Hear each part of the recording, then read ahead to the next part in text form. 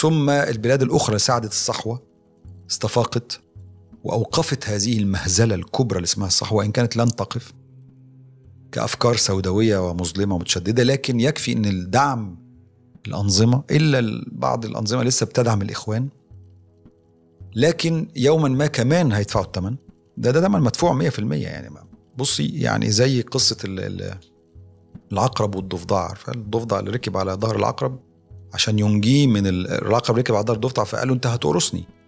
انت عقرب يعني ده فقال له إزاي اقرصك وانت اللي بتنجيني في المية؟ ما هو أنا مش عارف اعوم. فانت السبب الوحيد للنجاة يعني أو السبيل. فبعد شوية هو شايله على ظهره لدغه. فالعقرب دي قصة جت في على فكرة في كونفوشيوس في أحكام كونفوشيوس يعني. فالعقرب فالضفدع قال له غريب جدا أنا اللي بنقذك وما عندكش غيري ولدغتني. قال له this is my nature. طبيعتي.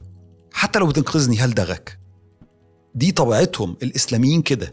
لا يمكن يصونوا عهد ولا يمكن يراعوا أي حاجة. حتى لو اللي بيعملوهم ده أنقذهم من السجون يقتلوه.